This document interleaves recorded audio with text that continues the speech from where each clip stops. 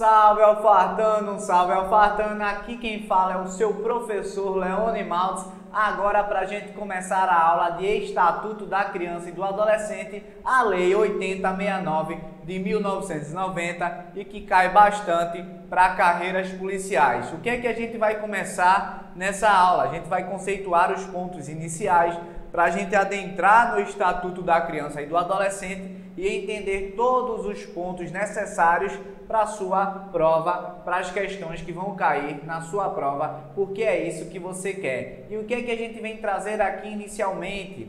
A gente vem trazer nesse primeiro momento o Estatuto da Criança e do Adolescente, mas aí das disposições preliminares dos direitos fundamentais, espe especificamente o direito à vida, liberdade, respeito e dignidade. Mas antes de mais nada, a gente tem de entender o fundamento constitucional que vai garantir é, toda essa proteção a esse grupo vulnerável, que é a criança e o adolescente. Então, o que é que a Constituição Federal traz em relação ao ECA? Que é dever da família e da sociedade, além do Estado, assegurar com absoluta prioridade o direito à vida, à saúde, à alimentação, dentre outros direitos como a cultura, dignidade, respeito e liberdade. Então, em resumo, a Constituição Federal, ela vem assegurar com absoluta prioridade os direitos individuais é, desses indivíduos. Mas é dever de quem? Da família. É dever também da sociedade e principalmente do Estado. Além disso, essa absoluta prioridade também decorre da criação de políticas sociais, ou seja, quando o Estado está naquele momento de criar políticas sociais, dará uma prioridade em relação a essas, é, a essas políticas sociais. E o que é que a gente também pode encontrar aqui nesse primeiro momento?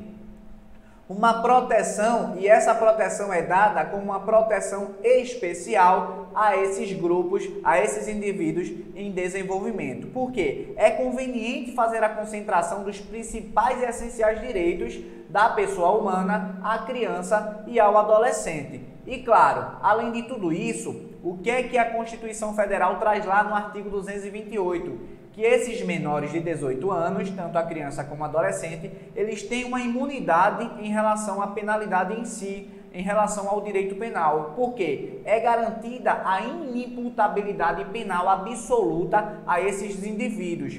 E esses indivíduos, eles vão se sujeitar a normas de, das legis, da legislação, normas da legislação especial e que legislação especial é essa, meus alunos?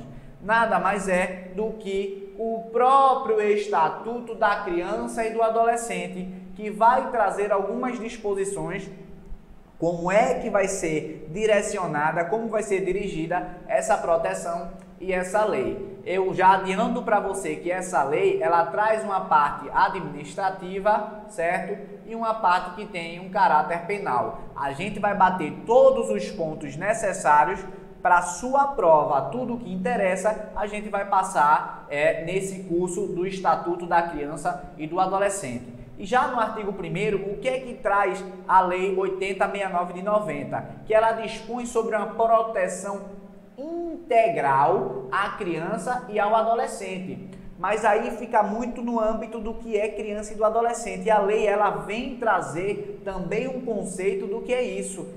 Então, o que é que ela fala? Que criança é considerada até 12 anos incompletos. Então, fique ligado a esse termo incompleto, porque até 12 anos incompleto significa que a pessoa tem 11 anos e também os adolescentes, que é considerado entre 12 anos e 18 anos incompletos, trazendo a mesma lógica que 18 anos incompletos nada mais é do que ter 17 anos. Mas preste atenção, meu aluno, vem aqui comigo. O que é que você deve ter como, é, como é que você deve se basear nas questões? A banca ela pode trazer de fato o texto de lei e como é que ela vai trazer o texto de lei? Trazendo esse termo incompleto. Então fique na cabeça o seguinte: criança é até os 12 anos incompletos.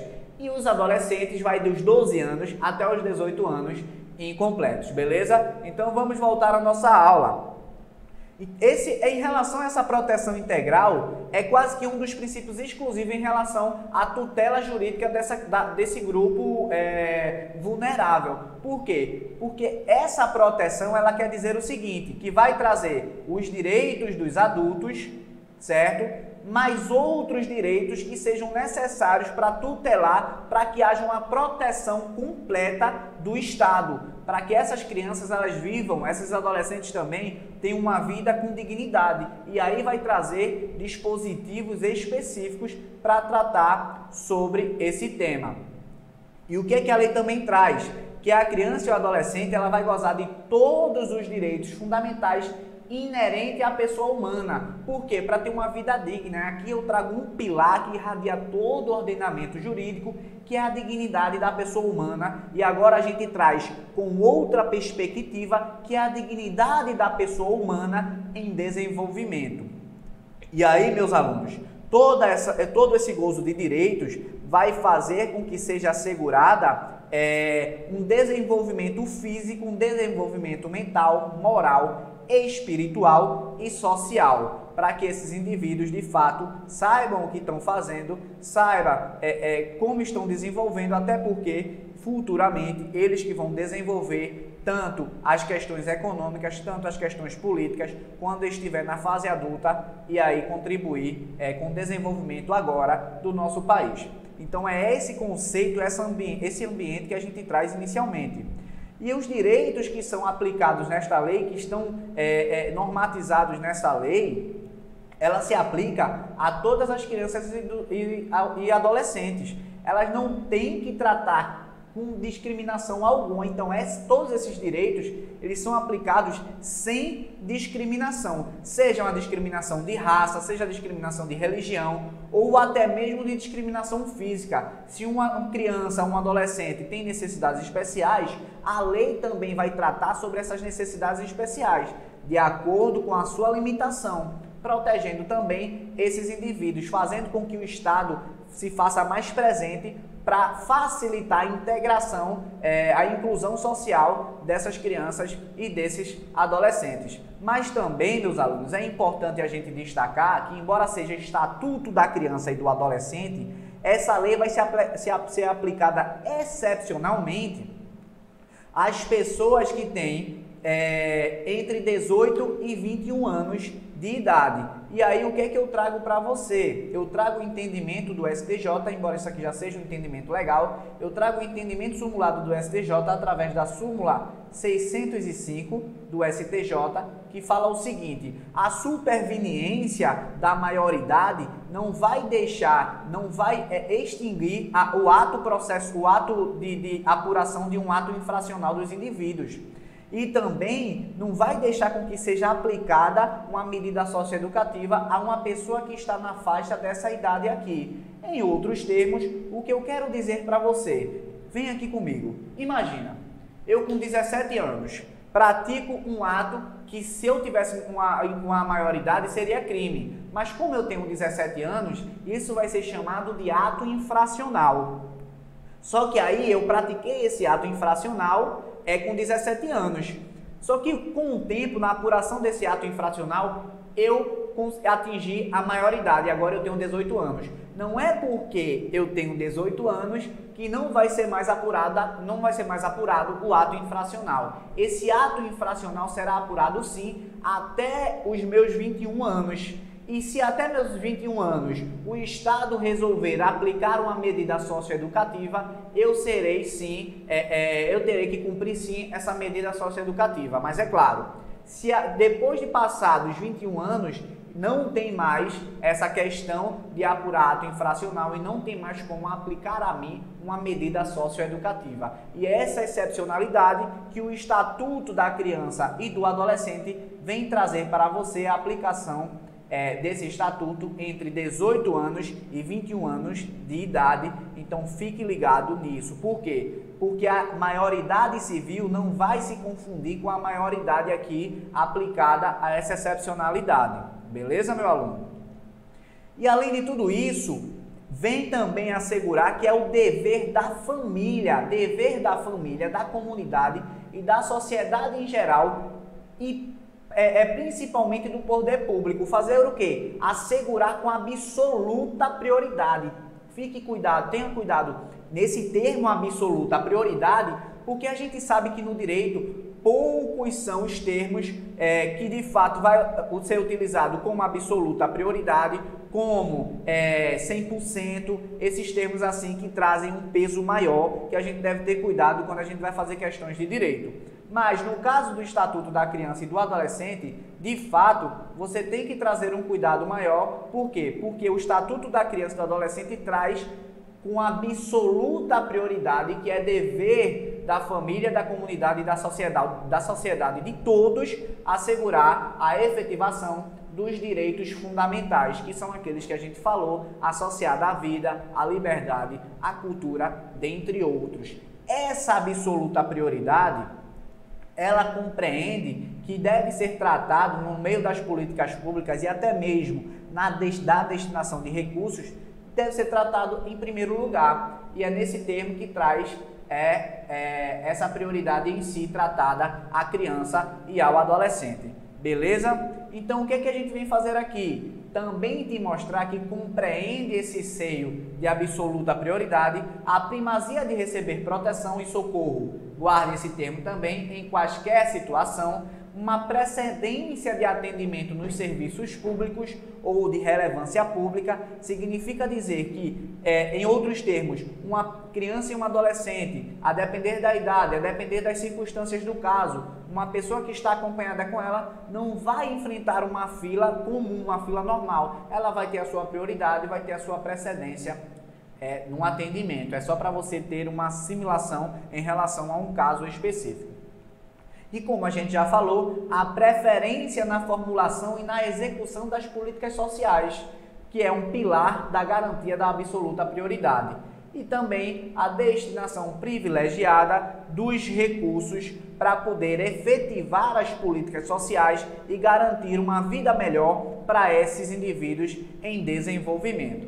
Beleza, meu aluno? E a consolidação dessa tutela especial por parte da sociedade, bem como do poder público, por quê? Porque nada mais justo do que proteger um grupo que nem mesmo tem voz na vida real, e a gente sabe disso, uma criança um adolescente, quando fala muita coisa, a gente tende a não dar muita importância. E é nesse sentido que a lei vem criar a obrigação de assegurar os direitos e a proteção à criança e ao adolescente, é, eximindo, ou melhor, é, fazendo com que seja proibida toda forma de negligência, discriminação, exploração, violência, crueldade e opressão. E aí, meu aluno, o que é que eu trago para você? Que qualquer que seja os casos de suspeita ou confirmação de castigo, tratamento cruel ou degradante associado a essas condutas aqui, deve ser obrigatória a comunicação ao Conselho Tutelar, que a gente vai ver mais à frente que órgão é esse, bem como a comunicação aos outros órgãos que, seja, que sejam necessários para poder coibir essa prática, para poder garantir essa proteção, essa tutela especial a esses indivíduos. E que outros órgãos são esses? Possivelmente pode ser a vara da, da, da infância e da juventude, o Ministério Público e até mesmo a Polícia que vai garantir, que vai levar a condução de todos esses ilícitos para chegar à, à punição de fato. Beleza, meus alunos? Então, qualquer atentado por ação ou omissão a esses direitos deve ser comunicado sim ao Conselho Tutelar e aos outros órgãos que a gente já citou. E o que é que eu trago para você em relação às disposições gerais? Todos esses conceitos, tudo que for interpretado nessa lei, ela deve ser dirigida aos fins sociais que a lei quer trazer e também às exigências do bem comum e os direitos e deveres individuais e coletivos. Em outros termos, para melhor entendimento, a melhor aplicação da Lei 8069 de 1990 o interesse mais relevante sempre vai ser o da criança e do adolescente, no momento em que for só pesar direitos que envolvam em um polo esses indivíduos em desenvolvimento. Por quê? Considerando a condição peculiar como pessoas em desenvolvimento, que eu sempre venho falando aqui para vocês esse termo. Beleza? E aí, terminando as disposições gerais, a gente já vai adentrar nos direitos fundamentais da vida e da saúde da criança e do adolescente. Só que entenda também, meu aluno, quando a gente fala em relação à criança e do adolescente, diretamente e indiretamente, a gente também vai associar, vai assegurar alguns direitos às mães desses indivíduos, até para que seja de forma, de, de forma integral garantido a criança que está lá no seio materno ou na, é, em gestação ou até mesmo logo após é, ser gerada por essa mãe. Então você vai ver que alguns direitos elas são, eles são garantidos às mães desses indivíduos, beleza? Então vamos lá, volta aqui comigo. Quando a gente vai falar sobre o direito à vida e à saúde, a gente também traz um disposto constitucional no artigo 227, parágrafo 1 que diz o seguinte, que o Estado vai fazer a promoção de programas de assistência integral à saúde da criança e do adolescente. E aí o que é que vai acontecer? Vai destinar é, um percentual de recursos públicos à saúde na assistência materna infantil, à criação de programas de prevenção e atendimento especializado, para as pessoas também portadoras de deficiência física, até para fazer uma integração social dessa pessoa, para que ela seja ela mesma, como, com ela mesma, seja melhor aceita na sociedade e tudo isso. E o que é que o Estatuto da Criança e do Adolescente vem fazer? Vem fazer a efetivação de políticas sociais públicas que permitam o nascimento em desenvolvimento sadio e harmonioso. Então, uma consequência do direito à vida nada mais é do que o direito à saúde. De nada adianta eu ter um direito à vida e não ter uma saúde plena, uma boa saúde para seguir a minha vida. Então a criança e o adolescente eles terão direito à proteção à vida e à saúde mediante toda essa efetivação de políticas públicas, porque vai ajudar nesse nascimento e nesse desenvolvimento de forma sadia e harmoniosa para que eles tenham uma condição digna de existência tá certo? Então, nesse contexto, é assegurado a todas as mulheres o acesso a programas e políticas públicas sociais. Beleza? E como, e como é que vai ser garantido esse acesso a programas? Trazendo uma nutrição adequada, uma atenção humanizada no momento do parto. O parto também tem que ser garantido para essas mulheres com políticas de saúde, beleza? E aí, um atendimento é, a essas mulheres em, em, em relação ao puerpério, em relação ao pré-natal, perinatal e pós-natal. E tudo isso que eu falo aqui para vocês é integralmente disponibilizado no âmbito do Sistema Único de Saúde, que é o SUS. Beleza, meus alunos? Então, quando eu falo em um atendimento pré, peri e pós, é realmente integral, tanto antes de nascer, no momento do nascimento e também pós-nascimento. E o que é que acontece? E o que é que acontece aqui também, né? É, nessa, nessa parte dos direitos da saúde e do direito à vida? O que é que a gente traz aqui para você? Esse sistema único de saúde, que é o SUS, ele deve proporcionar o acesso à política como um todo e um planejamento reprodutivo, como uma gestação e essa gestação, ou melhor, e essa, essa política é, de atenção social à saúde, ela deve ser em qualquer nível é, social. Então, quando eu falo qualquer nível social que o SUS deve garantir, pode ser do mais rico ao mais pobre.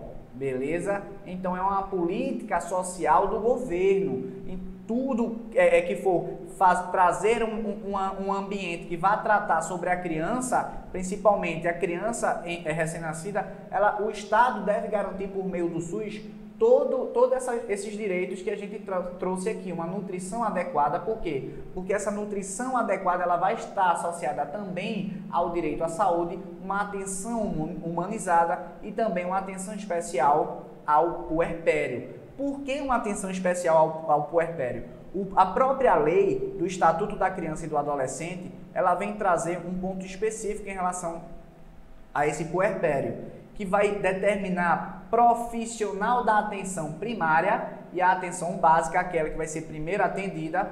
E essa, esses profissionais da atenção primária, eles estarão numa busca ativa é, daquelas gestantes que não é, seguirem os procedimentos, que estiverem, entre aspas, fugindo dessa proteção e dessas políticas do SUS e também daquelas mulheres puérperas, que são aquelas que têm, é, acabaram de ter o bebê ou estão no momento de ter o bebê. Porque o que, que acontece? Esse estado puerperal, ele pode trazer algumas complicações psíquicas à mulher. E o que acontece nesse estado puerperal, que a gente pode fazer uma, uma, uma, uma remissão aqui, é o artigo, 20, artigo 123 do Código Penal, que é o crime de infanticídio, quando a mulher está, mata o próprio filho no estado puerperal, no parto logo após ele. Então, essa busca ativa pelos profissionais da atenção primária vai ser justamente para reduzir esses efeitos psíquicos que porventura venham gerar um prejuízo a essas mulheres. Então, fique ciente disso e pegue todos esses conceitos que a gente traz aqui para você, para você estudar em forma de esquema para melhor assimilar o seu conteúdo. Tá certo? E o que que acontece? Haverá uma vinculação ao estabelecimento de saúde no último trimestre é, da, de gestação. Então, o que, que acontece? Os profissionais de saúde, eles vão garantir a vinculação no último trimestre da gestação ao estabelecimento que, de fato, nesse caso, vai ficar vinculado para realizar o parto. Só que essa vinculação no último trimestre também é um direito da mulher que ela escolha qual será o estabelecimento de saúde, beleza? Então guarde que é no último trimestre que vai fazer essa vinculação da gestante a o estabelecimento que vai realizar o parto. E o local que a mulher vai escolher o parto vai assegurar também os serviços de saúde é, aos seus filhos recém-nascidos, como uma alta hospitalar responsável, a contrarreferência na atenção primária e serviços e grupos de apoio à amamentação. Esses serviços de apoio e grupo à amamentação é de fundamental importância porque a gente sabe que a, a maioria das mulheres, se não quase todas, elas buscam o SUS porque elas não têm condições de pagar um, um, um serviço particular. Então é importante que o local do parto assegure às mulheres e aos recém-nascidos esses serviços, os grupos de apoio à amamentação, porque a mulher pode até não ter uma nutrição eficiente para poder repassar ao seu filho que acabou de nascer. Então, meus alunos, o que que acontece? Vai também agora para o lado do poder público garantir uma assistência psicológica à gestante e à mãe. A gestante por quê? Que ela está com a criança na barriga, claro, e a mãe que acabou de ter seu filho. E essa, essa assistência psicológica, o que, é que ela vem trazer? Ela vem trazer uma atenção pré-natal e pós-natal. E também de fundamental importância aquelas mulheres que é, notificam o interesse de adotar, de, de, de deixar em adoção essas crianças. O que, é que acontece? A gente vai levar para o lado social também que algumas mães elas não têm aquele aparato para cuidar dos filhos e é um direito delas é, demonstrar o interesse em, é, em, colocar em adoção. Então, muitas mulheres acabam não sabendo desse direito e acabam abandonando seus filhos nas ruas e podem cometer um crime que está no Código Penal. Só que o próprio Estado ele manifesta essa facultatividade, esse interesse em adoção às mulheres. E quando a mulher manifesta esse interesse, é, ela vai ser encaminhada obrigatoriamente e sem constrangimento à Justiça da Infância e da Juventude. Elas não serão punidas por isso quando elas manifestam de fato esse interesse. E é importante destacar que essa assistência psicológica à gestante e à mãe também é garantida àquelas mães que estão em privação de liberdade. Nesse caso, também há uma política penitenciária feminina aqui. Então, não tem aquela de separar mãe rica, mãe pobre, mãe em liberdade e mãe é, em privação de liberdade. E aqui o poder público tem de garantir a todas as gestantes e as mães, beleza? E os hospitais, os estabelecimentos de saúde, UTI neonatal, eles têm de conferir um banco de, de, de aleitamento materno ou um aparato de coleta para esse aleitamento materno. Além de tudo isso, é dever do poder público proporcionar medicamentos, órteses, próteses e outras tecnologias assistidas tanto para as crianças é, que é, precisam de medicamento, mas também daquelas crianças que precisam da prótese. Por quê? Porque nasceram com alguma limitação física, é, alguma limitação física em relação à sua locomoção. Então é importante também que o Estado garanta essa parte dessas próteses para essas crianças, beleza? Além de tudo isso, é direito da gestante ter uma acompanhante. Então eu trago para vocês, é direito da gestante ter uma acompanhante, não só da gestante, mas também da parturiente, ter uma acompanhante no momento é, pré-natal, no trabalho de parto e no pós-parto imediato. Então o que, é que a banca pode trazer aqui para você? Ela pode fazer uma pegadinha dizendo que é em todo pós-parto, mas não, é um pós-parto imediato. Então fique ligado nessa parte, nesse conceito. Beleza? E também, meu aluno, dentre os direitos fundamentais à vida e à saúde, a saúde, a gestante, o que, é que ela traz aqui? Que ela deverá receber uma orientação sobre aleitamento materno e uma alimentação complementar. E esse aleitamento materno é dever do poder público e de instituições de saúde e dos empregadores garantir toda essa orientação e toda essa questão de orientação de alimentação complementar saudável, crescimento e desenvolvimento infantil, além das formas de favorecer a criação de vínculos afetivos e estimular o a fim de estimular o desenvolvimento integral da criança. Beleza? E aí você vê que tem uma chuva de informações em relação aos direitos fundamentais à vida e à saúde desses indivíduos. E o que, é que a gente vai trazer aqui para você? Que existem também outros direitos garantidos às gestantes. E quais são? O acompanhamento saudável e parto natural cuidadoso. Então, em relação à gestação, qual é a regra? A regra é o parto natural. Havendo é, de ser um, um, parto, como é que eu posso dizer? Um parto é, cesariano, quando for de extrema importância, ou melhor, quando for de extrema urgência, quando não tiver a possibilidade de fazer um parto natural cuidadoso, aí sim opta-se por um parto é, cesáreo, beleza?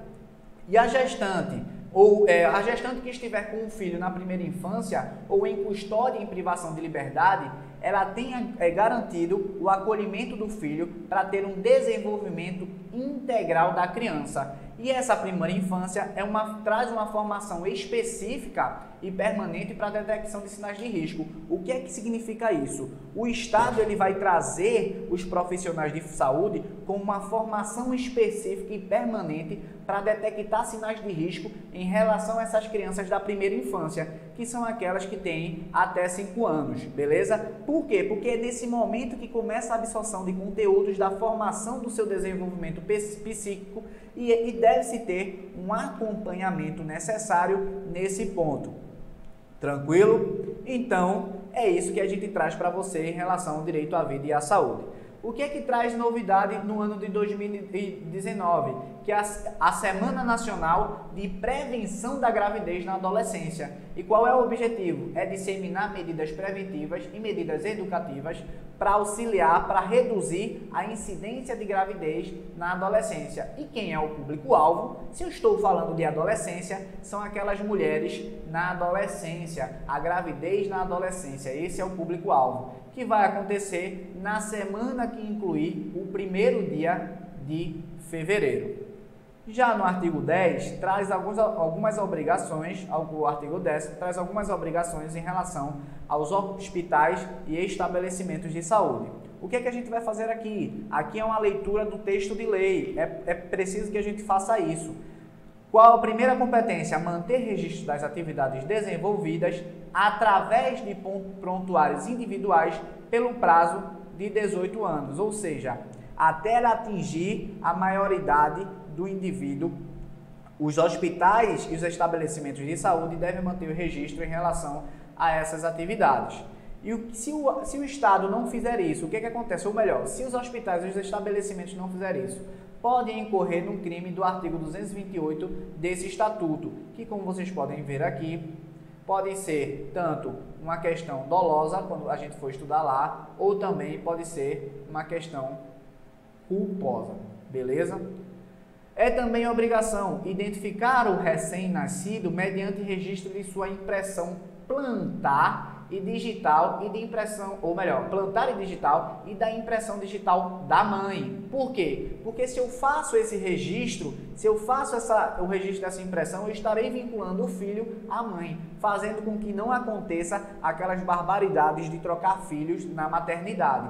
E se esses estabelecimentos não fizerem isso, podem incorrer no artigo 229 desse estatuto, que também é um crime que pode ter sua modalidade do dolo ou da culpa. Além disso, é dever desses estabelecimentos proceder a exames visando ao diagnóstico e a terapêutica de anormalidades no metabolismo do recém-nascido, bem como prestar orientação aos pais para que tudo isso seja é, concluído de uma maneira mais efetiva, de uma maneira mais segura para esses indivíduos.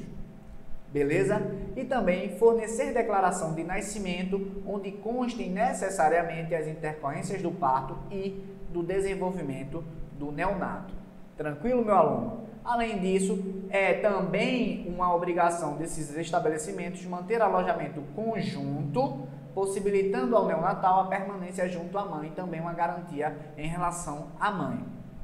Tá bom? E acompanhar a prática do processo de amamentação, prestando orientações quanto à técnica adequada, enquanto a mãe permanecer na unidade hospitalar, utilizando o corpo técnico já existente naquele local. E as condições para permanência em tempo integral de um dos pais ou responsável, nos casos de internação da criança e do adolescente. Ou seja, essa condição de permanência integral de um dos pais ou do responsável, ela se limita aos casos de internação da criança e do adolescente.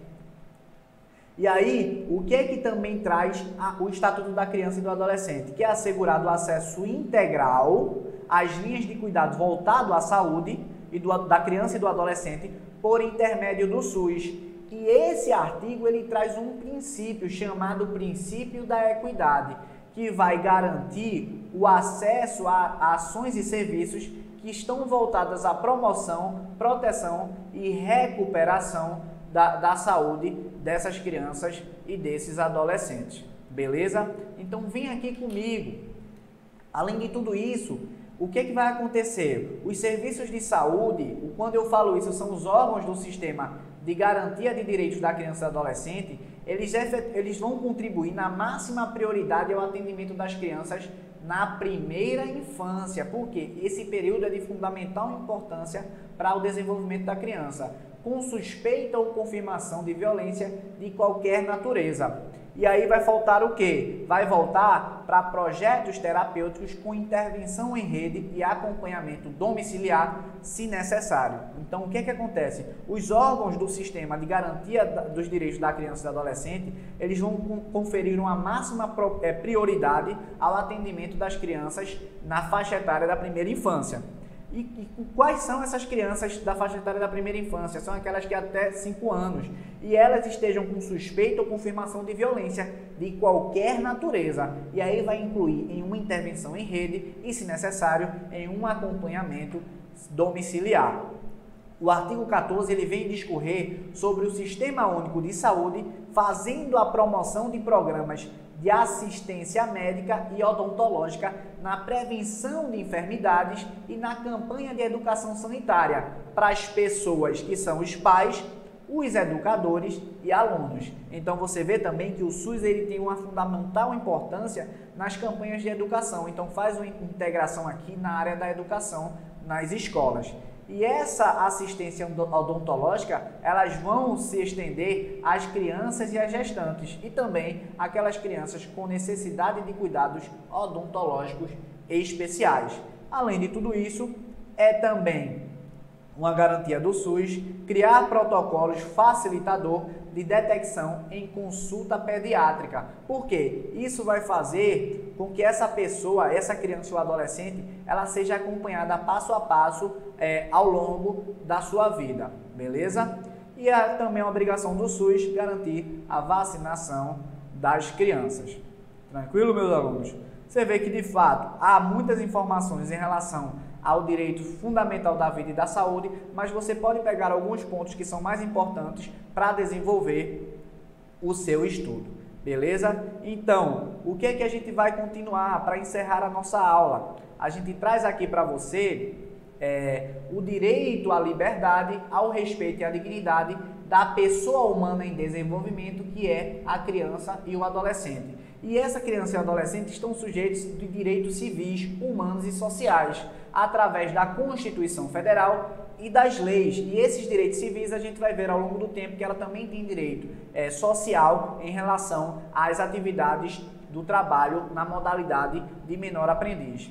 E o direito à liberdade compreende ir e vir nos logadouros públicos, ressalvadas restrições legais, tem também direito à liberdade de opinião e expressão, crença e culto, brincar, praticar esporte e divertir-se para ter um desenvolvimento humano saudável e participar da vida familiar comunitária sem discriminação, como a gente trouxe lá no início das disposições gerais, participar da vida política na forma da lei, e a gente vai ver aqui que também eles já começam os adolescentes a partir dos 16 anos a facultatividade do direito ao voto e buscar refúgio, auxílio e orientação. É mero texto de, lei, texto de lei que você já sabe que isso é um direito da liberdade que se estende às crianças e ao adolescente.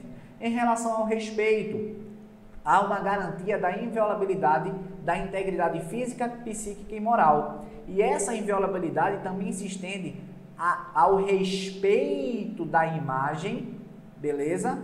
Da identidade, autonomia, valores ideais e crenças, além dos espaços e objetos pessoais.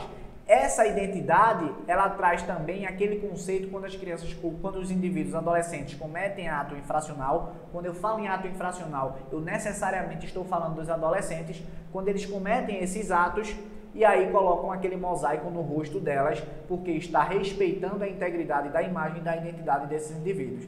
Em relação ao direito à dignidade, traz a dignidade da pessoa humana em desenvolvimento e é dever de todos velar por essa dignidade desses indivíduos, é, coibindo todo o tratamento desumano, violento, aterrorizante, vexatório e constrangedor. E dessa dignidade, o que é que a gente vai tratar? Vai tratar da Lei Menino Bernardo, que nada mais é do que mais conhecida como Lei é, da Palmada.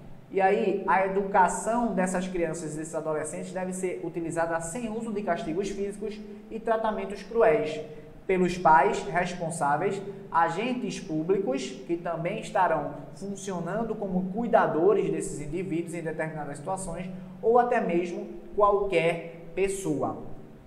Tranquilo? Em relação ao castigo físico, compreende a ação de natureza disciplinar ou punitiva aplicada com o uso da força física, gerando um sofrimento físico ou até mesmo uma lesão. Já o tratamento cruel, ele não traz uma ação em si, ele traz mais é, uma ação física, ele traz mais aquela ação, uma agressão mais que psicológica, através da humilhação, da ameaça grave e ridicularizando o filho ou a filha ou até mesmo o sobrinho ou a sobrinha. Então, o que é que traz a lei da palmada? Que a gente não deve se utilizar de meios agressivos, tanto castigos físicos como tratamento cruel degradante, como um cunho punitivo para poder disciplinar esses indivíduos. E aí é tudo isso que eu trago aqui para você nessa lei que é bastante extensa, e aí a gente vai tratar sobre outros pontos nas próximas aulas.